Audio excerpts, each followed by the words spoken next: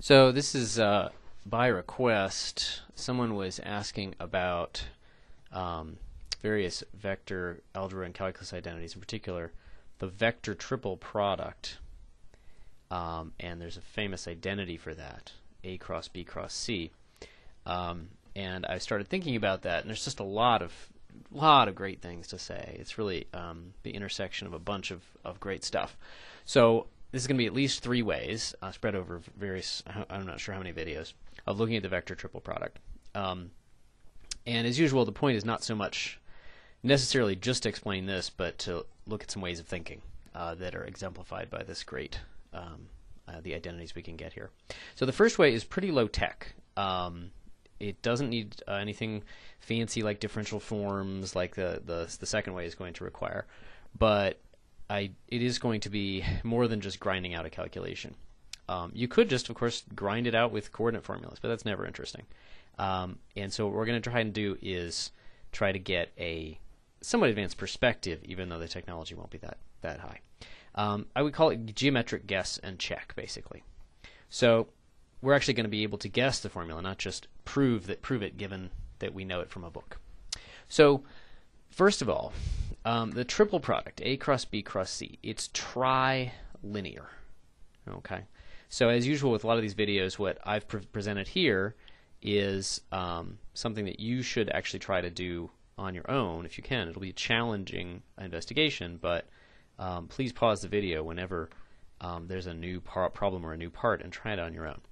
Okay. So um, trilinear is like linear or bilinear. It means it respects sum and scalar products scalar uh, scalar multiplication.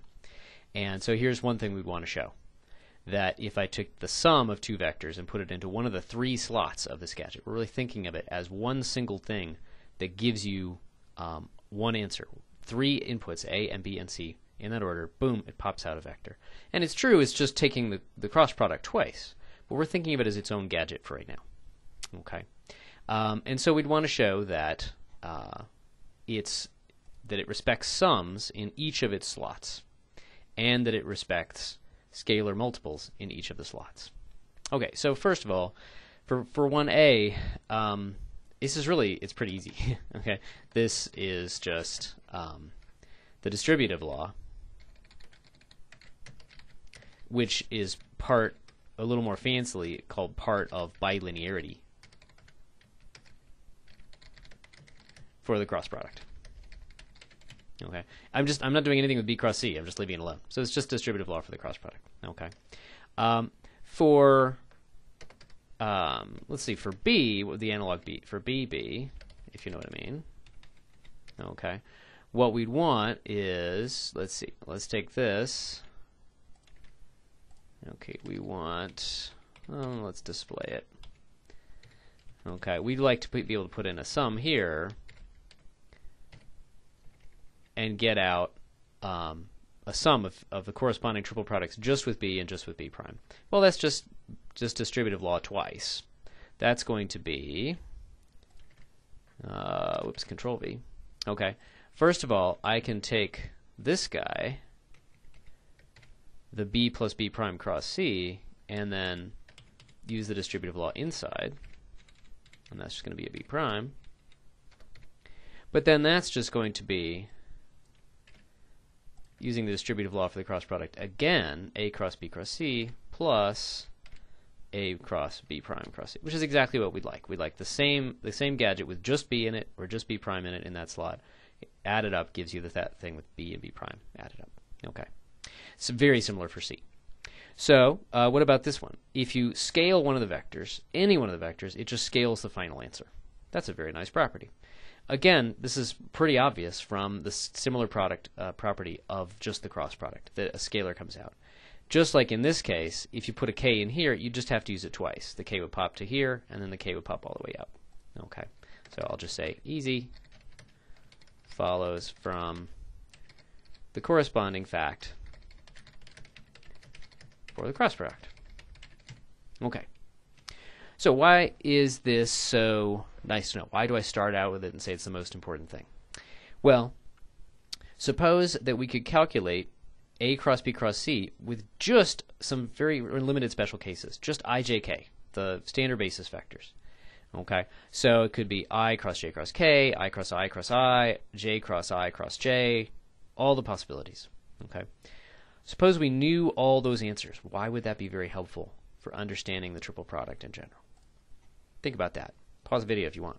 Okay.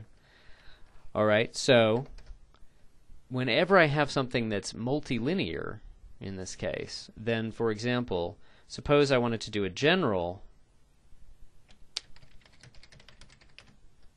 suppose I wanted to calculate A cross B cross C, I'm going to copy that in, but I'm going to replace A with uh, A1I plus A2J plus A3K. Let's bold those guys. So just writing it out in components. And then I think I'll just use that and copy it in here. And that's just going to be B. Oh, and I'm going to need that in parentheses. So that's going to be B written out explicitly.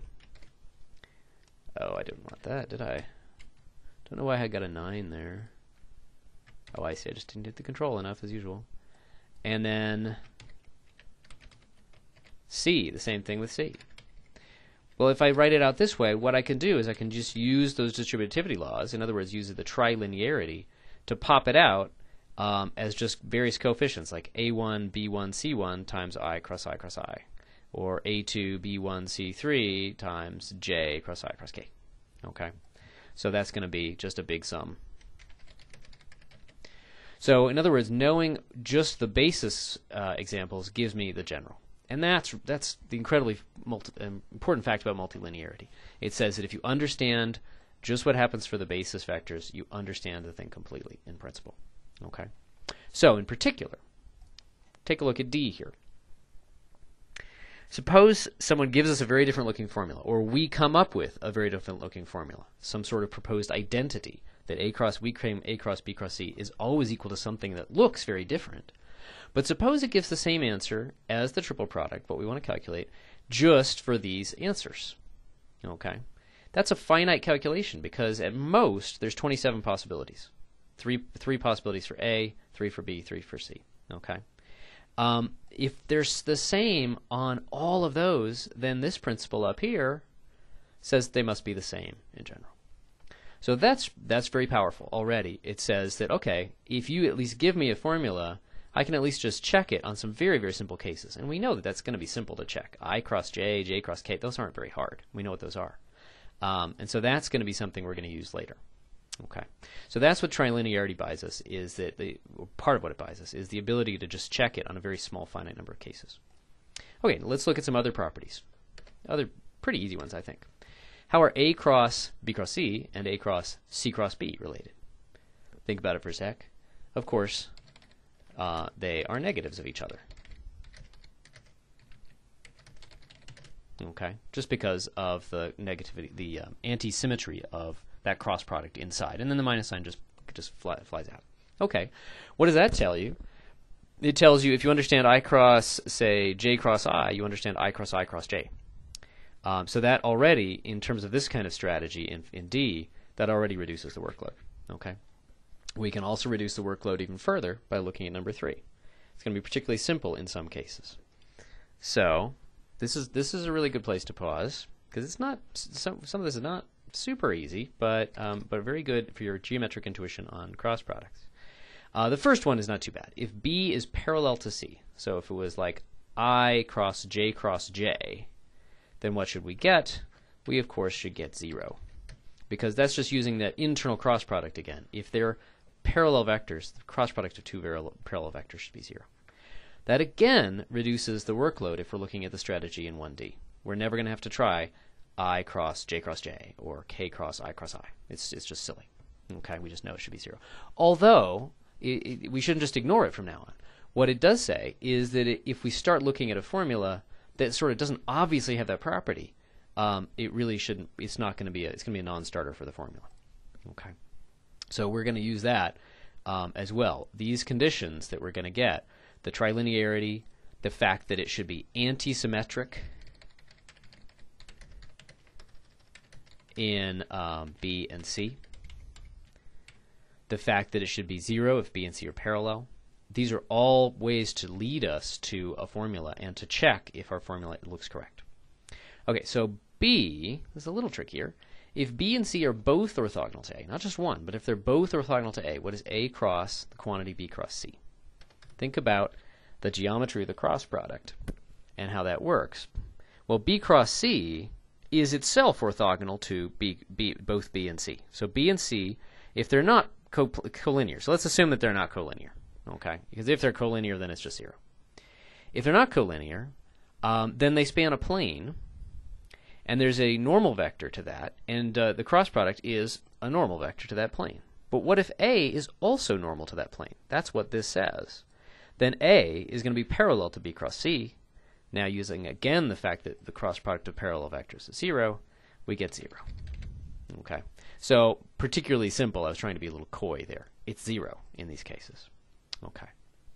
So what about um, more about A cross B cross C? When it's not zero, what is it? Where is it? Okay. Claim is it lies in two interesting planes. One is the plane normal to the vector, and we're supposed to fill in the blank here, and the other one the plane containing or spanned by these two vectors. This is a nice little thing about planes, nice little review of planes. Two ways to describe a plane. The implicit way is it's all vectors normal to some vector, let's say n. Okay, that's a very common way of describing planes. But there's another equally useful but sort of complementary way, the um, the parametric or explicit or constructive way to define a plane. It's the plane that's all linear combinations of two vectors, or in other words, the plane containing or spanned by two vectors. Okay, so all right. So first of all, what vector is a cross b cross c obviously normal to? It's obviously going to be normal to the vector a by the properties of the cross product. But in a kind of an elaboration of what was going on in number three, it's also going to be normal to the normal vector of the plane b cross c. Well, if it's normal to the normal vector of the plane spanned by b and c, then it's going to be back in that plane. Okay? So that's going to be nice to know. And I'm realizing I probably should have had a.